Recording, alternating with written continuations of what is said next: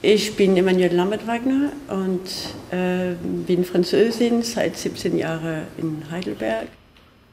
Ich ähm, beschäftige mich äh, hauptsächlich mit Webdesign, als, also Konzeption und auch Layout, und aber auch Organisation und Koordination von größeren Webprojekten.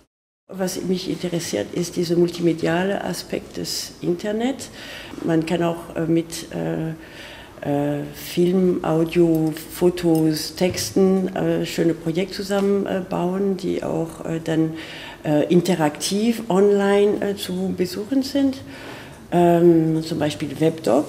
Ich habe auch äh, so eine WebDoc vor zwei Jahren initiiert und ähm, ähm, mitgestaltet. Und ähm, das heißt Marco Polo Reloaded. Ich bin jetzt in der alte Feuerwehr eingezogen, mich, ähm, ähm, um mich mit kreativen Menschen äh, auszutauschen. Und ich wünsche mir auch eben mehr ähm, Projekte in dieser Sinn zu entwickeln. Also ich ähm, habe mich die letzten Jahre spezialisiert um kleinere ähm, Website für lokale Kunden und ich will dann ähm, versuchen, mehr und mehr von solchen Projekten ähm, äh, entwickeln.